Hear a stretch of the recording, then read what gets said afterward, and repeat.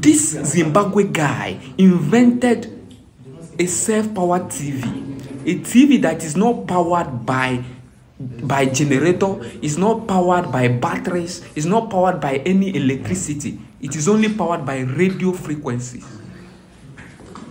How was that possible? And the best part is that this guy did not even go to school.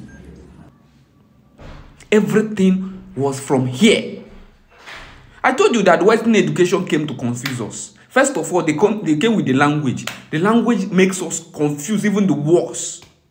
One of Zimbabwe's most celebrated technopreneurs, Maxwell Chikumbutso, has once again come up with a masterstroke innovation, and this time it is an embedded wireless power generator that uses radio frequency to power a television set. Chikumbutso demonstrated his latest innovation to a ZBC News crew at his base in Harare, whereby a TV does not need the electricity connection for it to function. Uh, this is our self-powered TV that we have uh, designed, the first in the world to have such kind of a technology where a television is powered with a radio frequency. So as you can see right now, I'm powering this television.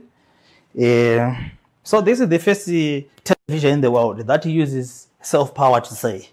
It is all in one. You don't need to put it on electricity or on solar panel or anything. As it is, it is a complete solution. Behind the television, you can see that there is a microsonic energy device, this box. This is the device that is converting radio frequencies into pure energy. As you can see, the power of the cable was supposed to be here. On all traditional televisions, power comes here, but there's no power as you can see. The television is it is working as it is. So in layman, I think this television is a we can call it a, a self-powered television. It is indeed an exciting innovation that comes in handy for households without electricity and even so, a relief to many in the event of power outages. Chikumbutso continues to fly the Zimbabwean flag high in the world of innovation, and this latest offering will put the country's map at the forefront of technological transformation. Owen Mandova, ZBC News, Harare. A, a, an, an, an African man will keep on studying English or French till he reaches 60, 70 years and he doesn't even know all. Tell me how can he how can the person manufacture anything with the language? When you don't even you don't even know all the words. But imagine if it's your mother tongue that we use and study all these things. It would have been easy because it's, it become more relatable to, to our surroundings. It become more relatable. Just look at this young guy.